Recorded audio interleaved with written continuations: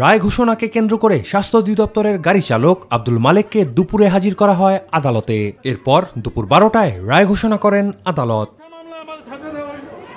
অস্ত্র আইনের মামলায় দুটি অভিযোগে মালেককে ত্রিশ বছর কারাভোগের সাজা প্রদান করেন আদালত। তবে দুটি সাজা একসাথে কার্যকর হওয়ায় তাকে জেল খাটতে হবে পনেরো বছর।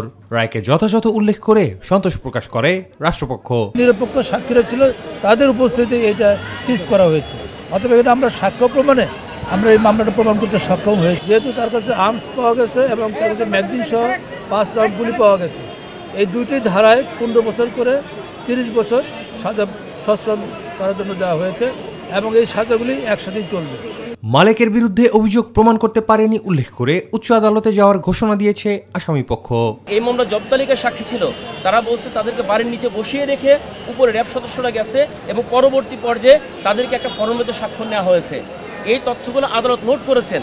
নোট করার পরবর্তী পর্যায়ে এই জাজমেন্ট কীভাবে হয়েছে? I am not sure about it but judgement হয়েছে। আদালতের প্রতি আমাদের রেসপেক্ট আছে। যেহেতু উচ্চ আদালতে যাওয়ার সুযোগ রয়েছে, আমরা সার্টেনলি উচ্চ আদালতে যাব। অবৈধ অস্ত্র, জাল টাকার ব্যবসা, চাঁদাবাজি, নিয়োগ বাণিজ্য সহ নানা অভিযোগে গত বছর বিশ সেপ্টেম্বর মালেককে গ্রেপ্তার করে র্যাব। মালেকের বিরুদ্ধে অবৈধ সম্পদ অর্জনের দুর্নীতির মামলার বিচার কাজও চলমান রয়েছে। Danny Drong, My TV, Dhaka.